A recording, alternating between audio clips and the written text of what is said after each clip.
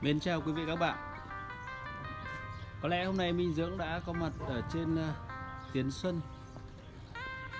Một cái uh, nhà vườn rất uh, nổi tiếng tại uh, Việt Nam. Có lẽ uh, nhìn cái khung hình này ai cũng uh, đoán ra.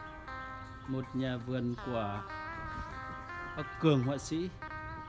Một nghệ nhân cũng như là uh, nói không quá là bậc thầy trong uh, lĩnh vực uh, nghệ thuật cây cảnh tại à, thời điểm này. Minh Dưỡng sẽ chia sẻ cho quý vị các bạn một uh, tổng thể của cái không viên sân vườn uh, mà bác Cường uh, rất là chăm chút thường ngày để tạo nên những cái tác phẩm để đời cho nhân thế. Ok.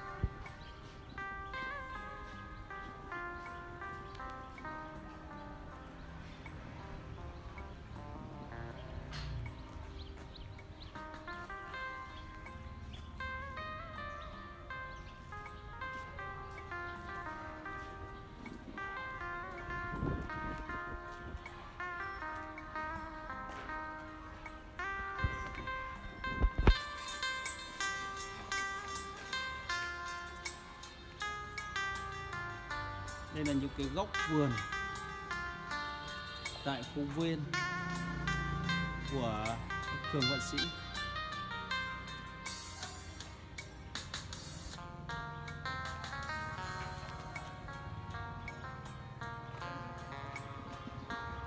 Có lẽ làng cái cảnh nghệ thuật không ai lạ gì và không ai biết ờ, không biết đến ờ, bác cường họa sĩ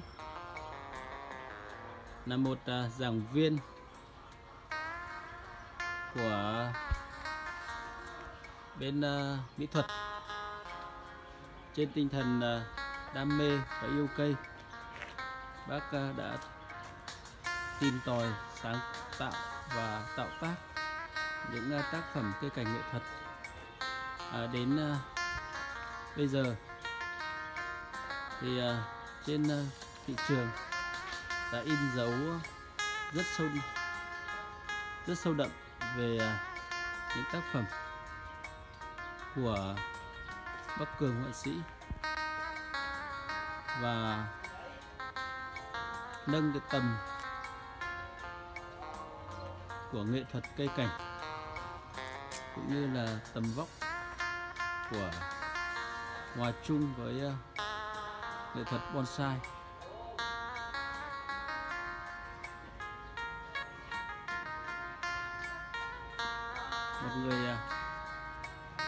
Nghệ nhân nghệ sĩ họa sĩ tài ba có tâm có tầm. Trong à, làng nghệ thuật cây cảnh sinh vật cảnh nói chung và cây cảnh nói riêng.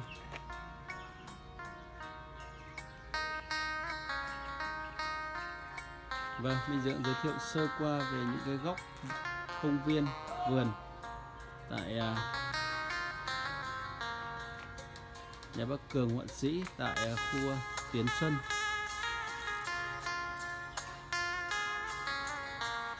Ok, dịp quý vị à, về tại nhà vườn Tiến Xuân để tận mắt chiêm ngưỡng những tác phẩm đang được hình thành tạo tác trong tương lai và rất là nhiều tác phẩm đã được thành danh từ đây mà đi cũng như là đang còn hiện hữu ở đây ok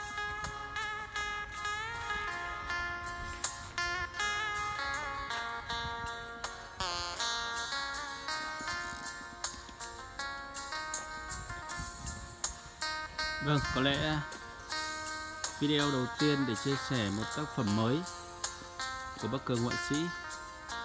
Có lẽ trước mắt chúng ta đây là một tác phẩm được uh, bác đặt cho cái tên rất uh, đó là rất view và có chiều sâu về ý tưởng. Tam đại đồng đường. À, một cái tác phẩm mà bác mới nhận chuyển nhượng.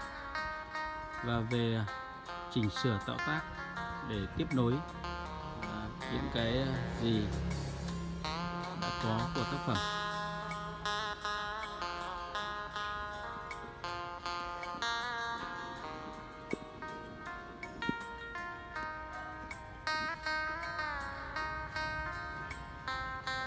Tổng thể của tác phẩm đây, quý vị xem. Cây à, cũng à, có tuổi và cái đường bố cục cũng ờ, cơ bản là được ờ, 6 70 phần trăm.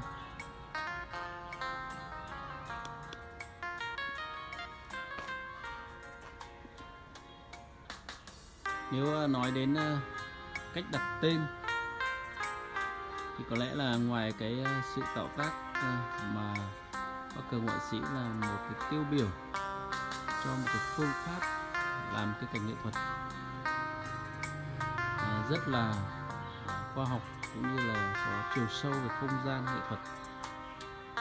Nhưng là tính nhân văn thì à, cũng phải nói thêm là để đặt cho những cái tên tác phẩm. Bác là một cái người mà phải nói là có chiều sâu của tâm hồn và sự hiểu biết rộng về triết lý sống. Nên à, những tác phẩm về cơ bản mà đã được nổi danh. Thì à, cái tính nhân văn, cái tính tên tác phẩm cũng à, rất được đề cao, được cơ bản, và có chiều sâu của tính nhân văn. À, và đây cũng là một tác phẩm như vậy. Đây là một tác phẩm mà tam đại đồng đường nó có tính gì đó ta phải nói là rất là có hay và nó có cái sự liên kết giữa không gian, thời gian và nhịp điệu của tiết tấu kế thừa.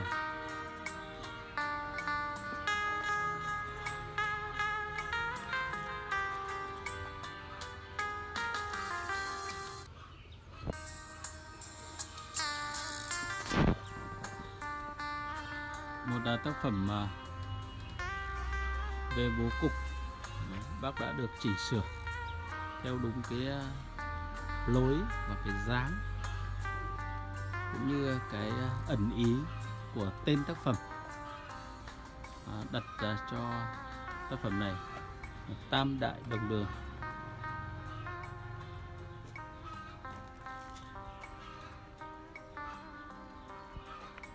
Thể hiện theo phong tục tập quán ba thế hệ.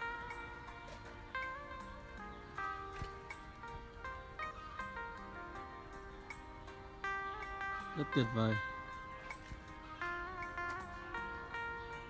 Và tôi cũng ờ, có rất là nhiều lần ờ, được ờ, tiếp xúc và từ khi biết đến bác cường.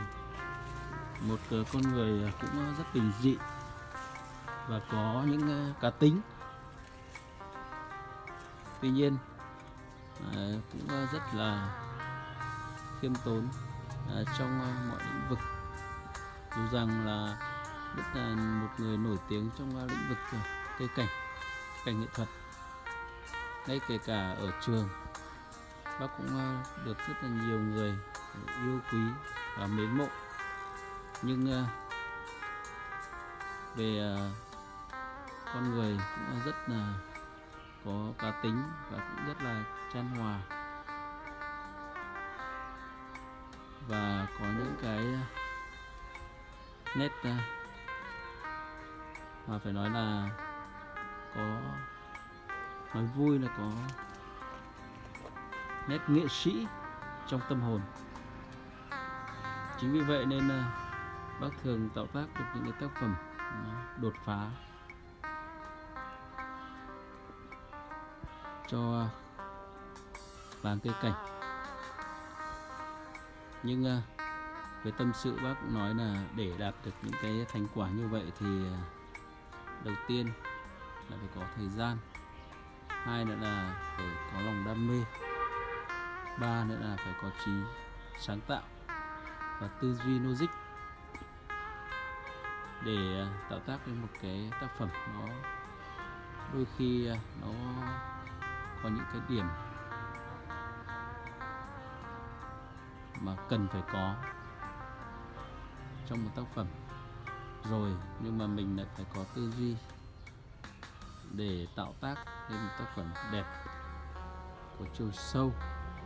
Thì không phải đơn giản mà may mắn nắm trong cuộc đời con người thì cũng chỉ đạt đến những ngưỡng à, được khoảng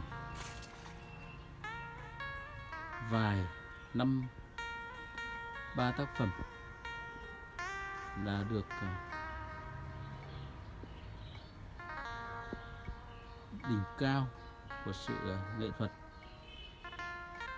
Và đạt được cái điểm đó thì sự tâm huyết của những người nghệ nhân người ờ, làm nên tác, tác phẩm à, nó qua thử thách.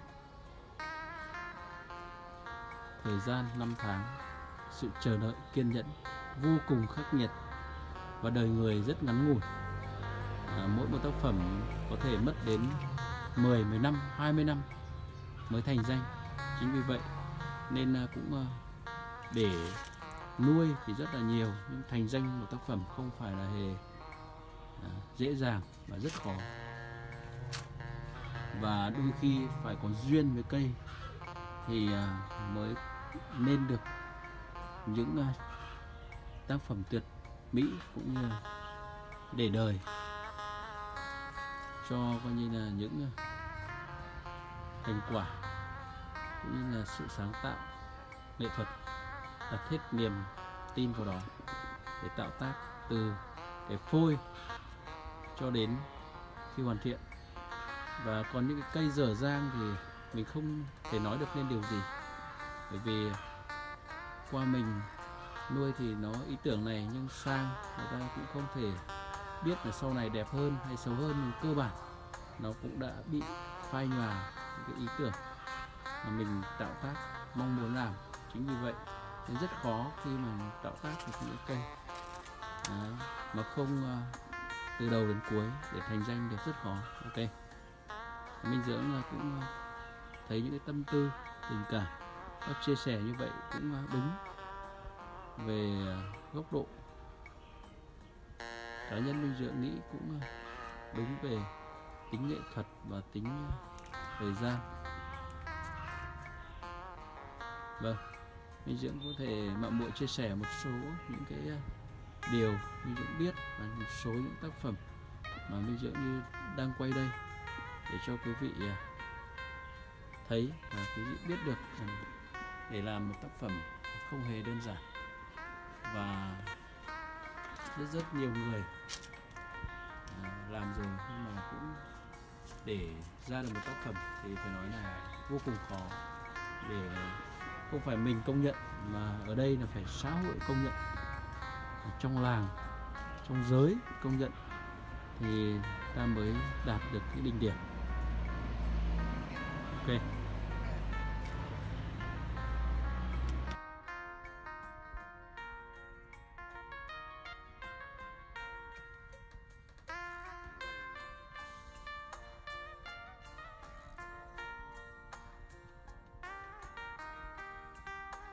Chào mừng các bạn hãy đăng ký kênh để theo dõi chương trình mới nhất. Hãy like và share để lan tỏa tình yêu quê hương. Hãy bình luận để thể hiện quan điểm cá nhân của bạn.